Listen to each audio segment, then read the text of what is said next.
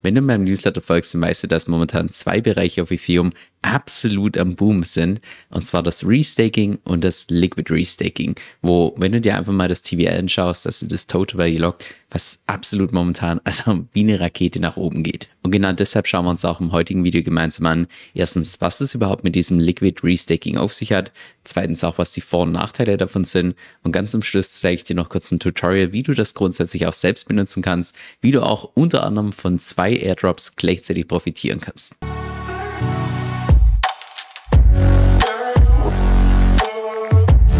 Hi, mein Name ist Kevin Sell und auf meinem Kanal lernst du über alles, was mit DeFi zu tun hat, Decentralized Finance, inklusive auch aktuellen Entwicklungen, wie beispielsweise heute. Aber bevor wir direkt reinstarten mit Liquid Restaking, lass uns zunächst mal anschauen, was denn die unterschiedlichen Arten sind von Staking und vor allem auch, was da die Vor- und Nachteile davon sind. Lass uns da mal ganz vorne starten beim ganz normalen Staking, also dass du beispielsweise bei einer Blockchain, die auf Proof of Stake beruht, dass du entsprechend mithilfst, die ganzen Transaktionen zu validieren und dafür, da kommen wir schon zu den Vorteilen, belohnt wirst mit Staking Rewards, die derzeit bei Ethereum meistens so zwischen 3 und 5 Prozent sind. Gleichzeitig bringt das Staking den Vorteil, zumindest im Vergleich zum Mining bei Bitcoin, dass du da im Allgemeinen relativ geringe Fixkosten hast und im Allgemeinen ist auch das ganz klassische Staking, zumindest im Vergleich zum Liquid Staking und Liquid Restaking, nochmal deutlich sicherer. Das ganz normale Staking kommt allerdings auch mit ein paar Nachteilen und zwar zum einen, dass es durchaus relativ technisch ist, das Ganze aufzusetzen, auch für das Validieren und so weiter dass du da auch keine Fehler machst.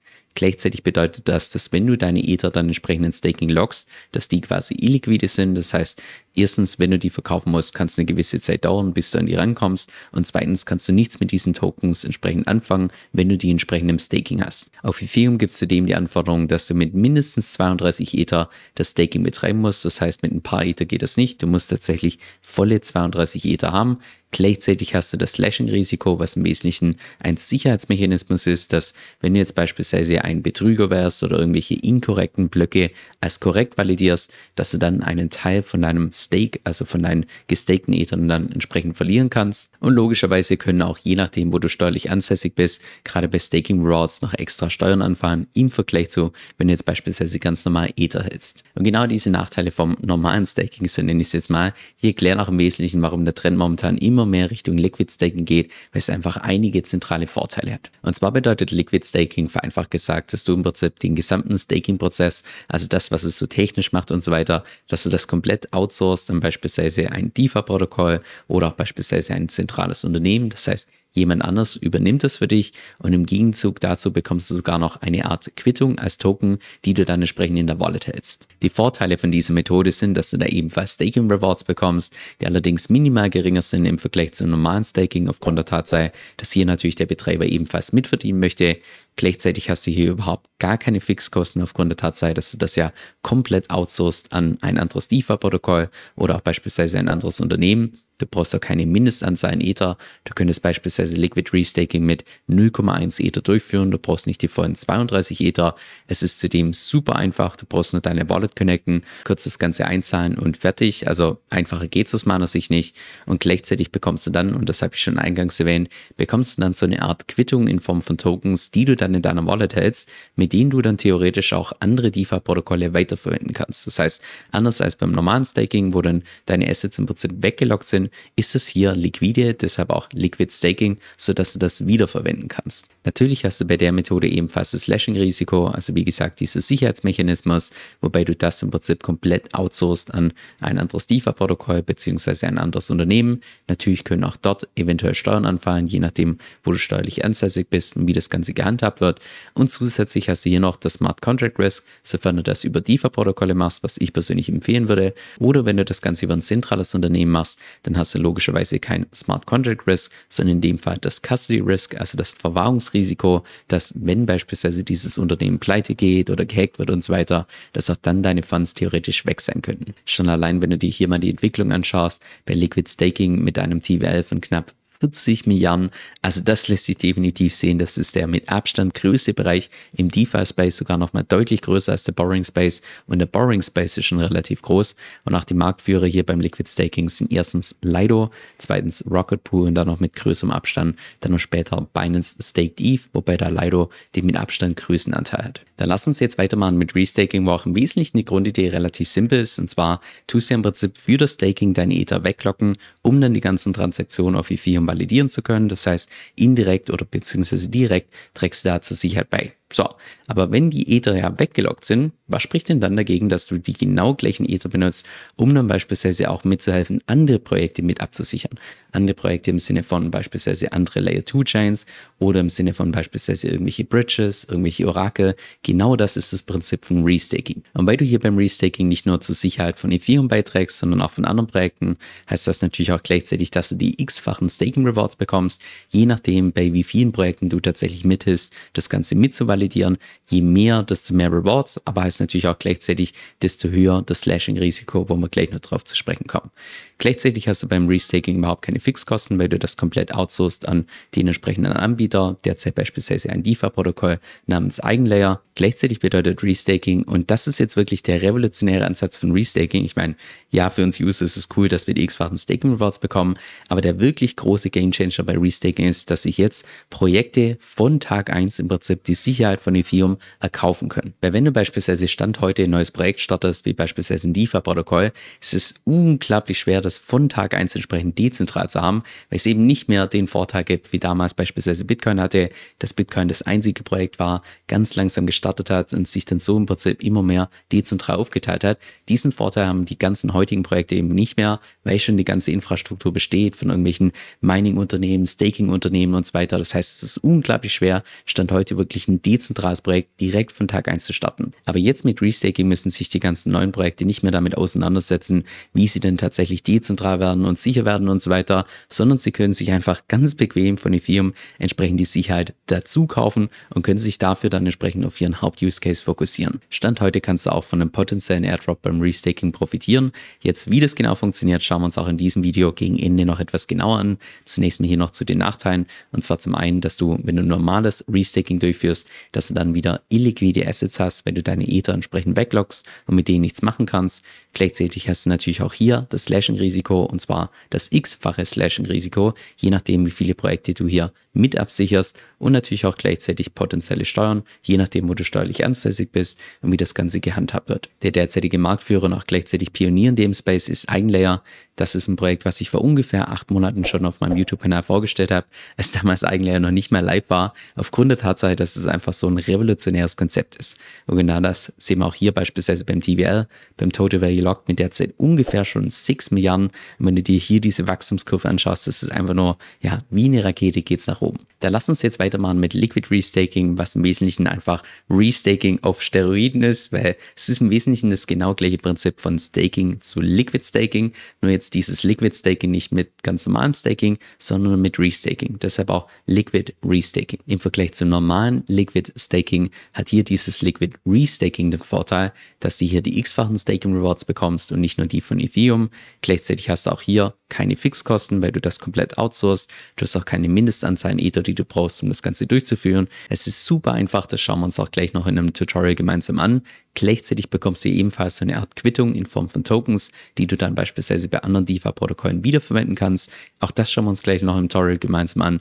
Und gleichzeitig, wenn du hier dieses Liquid Restaking machst, hast du auch den Vorteil, dass du von zwei potenziellen Airdrops gleichzeitig profitieren kannst. Und auch das schauen wir uns gleich im Tutorial ein bisschen genauer an. Jetzt die Nachteile vom Liquid Restaking sind aus meiner Sicht relativ logisch und nachvollziehbar, wenn du die anderen Formen von Staking verstanden hast. Und zwar zum einen, dass du hier das x-fache Slashing-Risiko hast, aufgrund der Tatsache, dass du das Restaking durchführst, also für mehrere Projekte.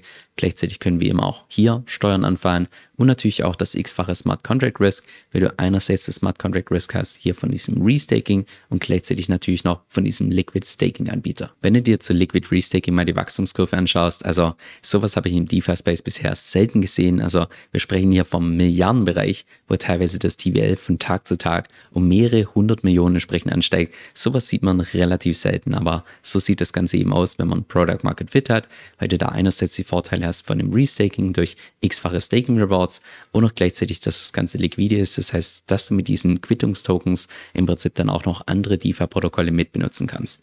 Die Marktführer da sind auch beispielsweise Ether Finance und Puffer Finance. Eins davon, den derzeitigen Marktführer, schauen wir uns auch gleich noch in einem Tutorial gemeinsam an. Das Liquid Restaking ist auch aus meiner Sicht unglaublich bullish für Ether. Also ich spreche jetzt ganz bewusst von Ether, dem Token, nicht Ethereum, dem Netzwerk, sondern Ether, dem Token. Denn das Liquid Restaking führt im Wesentlichen nur dazu, dass hier diese Anzahl der gestakten Ether im Zeitverlauf noch höher geht und derzeit sind bereits 25% von allen Ethern entsprechend weggeloggt. Das heißt gleichzeitig, dass das Angebot im Zeitverlauf immer mehr abnimmt, zusätzlich natürlich das Ether an sich schon deflationär ist, was im Wesentlichen dann in der Praxis bedeutet, dass wenn wir tatsächlich in den Bullmarkt reingehen und dann die Nachfrage sich nur leicht erhöht, dass das eben einen viel stärkeren Effekt hat auf den Preis, aufgrund der Tatsache, dass hier einfach das Angebot so knapp ist. Gut, dann lass uns jetzt mal gemeinsam anschauen, wie das Ganze in der Praxis aussieht. Und zwar hier am Beispiel von Ether Finance. Das ist das größte Liquid Restaking Protokoll, was es derzeit im Markt gibt, mit einem Total Value Lock von ungefähr eine Milliarde. Und um das Ganze zu nutzen, kannst du einfach draufklicken auf Stake Now. Danach musst du dann einfach hier kurz deine Web3-Wallet verbinden, was ich jetzt hier beispielsweise mit Rabby gemacht habe. Und der Rest ist eigentlich aus meiner Sicht relativ selbst erklären, dass du hier unter Stake beispielsweise Ether einzahlen kannst, beispielsweise 0,1 Ether. Dafür bekomme ich dann 0,1 EETH. Das sind diese Liquid Restaking Tokens, die ich danach in meiner Wallet habe, wo ich auch genau für einen Ether einen EETH entsprechend bekomme und auch gleichzeitig, dass sie hier Staking Rewards bekommen und zwar nicht nur die ganzen Staking Rewards von Ethereum an sich, sondern gleichzeitig auch noch die Restaking APR, die noch on top kommt und noch zusätzlich, dass ich hier Loyalty Points sammeln kann für Ether Finance und noch gleichzeitig Punkte für Eigenlayer. Und diese Punkte hier sind im Wesentlichen nur der Vorbote von einem potenziellen Airdrop, der mal in der Zukunft kommen könnte. Also aus meiner Sicht ist die Wahrscheinlichkeit unglaublich hoch, dass der tatsächlich kommt, weil wenn nicht, dann ja, würden die sich, die Projekte sich extrem ins eigene Bein schießen und der Ruf wäre dahin. Von daher gehe ich davon aus, dass wenn du hier das tatsächlich so machst, dass du dann einerseits von einem Airdrop profitierst von Eigenlayer und auch noch gleichzeitig hier von Ether Finance. Wenn du das Ganze dann hier über die Plattform gemacht hast, kannst du dann auch hier oben draufklicken auf Portfolio, wo dir dann hier auf einen Blick angezeigt wird, wie viele Punkte du hier beispielsweise bei Ether Finance schon gesammelt hast, wie viele für Eigenlayer, wie hoch die APR hier ist. Und irgendwann mal später wird auch die Restaking APR entsprechend angezeigt. Jetzt gehen wir mal nochmal zurück zu EETH, weil hier findest du noch eine zweite Option, dass du das Ganze direkt rappen kannst, was im Wesentlichen bedeutet, dass du diese EETH, die du hier bekommen hast durch das Staking, dass du die nochmal rappen kannst, das heißt einen Rapper außenrum packst sodass du dann Wrapped EETH bekommst und diese Wrapped EETH, die kannst du dann entsprechend bei den ganzen DeFi-Protokollen theoretisch hinterlegen, falls du das möchtest. Ich habe auch mal direkt hier bei DeFi Lama unter diesem Borrowing-Aggregator nachgeschaut, wo genau man Stand heute diese Wrapped EETH entsprechend schon hinterlegen kann. Derzeit ist die Auswahl noch relativ gering, aber im Zeitverlauf gehe ich ganz stark davon aus, dass hier die Auswahl immer und immer größer wird. Aber theoretisch könntest du beispielsweise hier bei Silo Finance diese Wrapped EETH hinterlegen, dafür entsprechend einen Kredit aufnehmen in USCC, mit diesen USCC dann nochmal hier entsprechend noch mehr Ether kaufen, mit diesen Ethern nochmal EETH, mit diesen EETH nochmal Wrapped ETH und so im Prinzip das ganze Schachteln, Loopen, sodass du im Endeffekt einerseits gehebelte Kursgewinne bekommst, aber natürlich auch andererseits hier entsprechend nochmal deutlich mehr Punkte sammeln kannst für Ether Finance, genauso auch hier wie für Eigenlayer. Es gibt beim Restaking allerdings auch ein paar valide Kritikpunkte, die auch insbesondere von den ganzen Techies häufiger diskutiert werden, wie beispielsweise, dass das Restaking im Allgemeinen deutlich komplexer ist wie das normale Staking, was dann im Endeffekt langfristig betrachtet dazu führen könnte, dass immer mehr Leute tatsächlich das Restaking durchführen und dadurch im Allgemeinen das Staking eher zentralisiert wird, anstatt weiter dezentralisiert wird.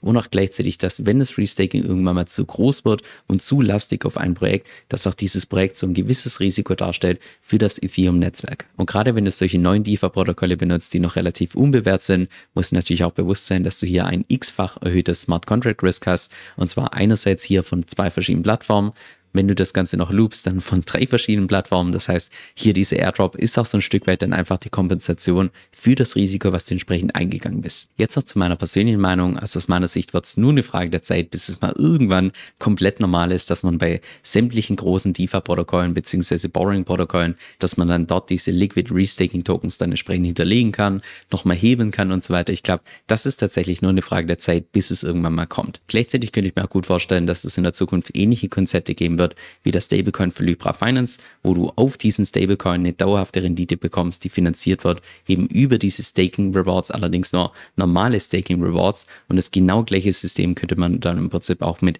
Liquid Restaking Tokens machen, dass du im Prinzip die Rendite von Restaking dann entsprechend auf ein Stablecoin projizierst, was ebenfalls im Vergleich zum traditionellen Finanzsystem ziemlich attraktiv sein könnte. Jetzt ich persönlich benutze das Restaking und auch das Liquid Restaking Stand heute nicht, aufgrund der Tatsache, dass ich derzeit mit meiner Investitionsstrategie primär auf gehebete Kursgewinne fokussiert bin und weniger hier auf extra Rendite oder extra Airdrops. Aber gerade für die ganzen Leute, die im Yield Farming Bereich unterwegs sind oder im allgemeinen Airdrop Farming, könnte das durchaus hier eine interessante Gelegenheit sein. Aber im Allgemeinen bin ich doch relativ bullish, was Ether den Token angeht, genauso auch wie Ethereum das Netzwerk. Ich meine, der Token durch das Liquid Restaking, dadurch, dass einfach das Angebot immer und immer, immer knapper wird.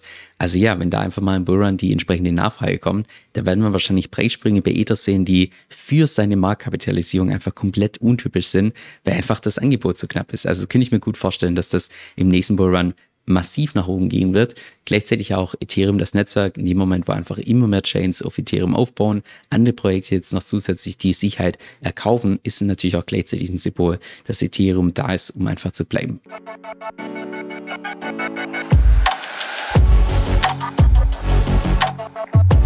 Bye.